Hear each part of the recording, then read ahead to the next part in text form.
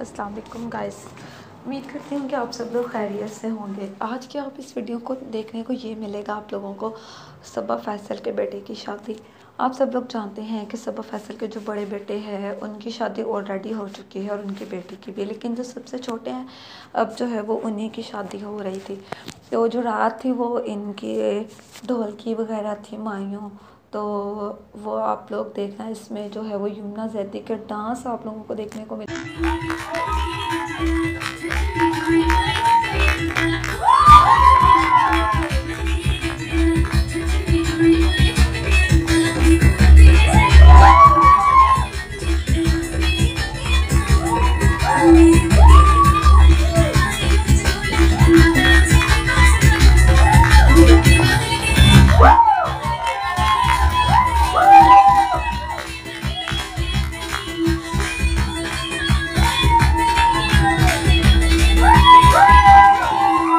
आप लोग देख रहे हैं गाइस कैसे जो सबा फैसल और उनकी बेटी जो है वो प्रॉपर ढोल वगैरह जो है वो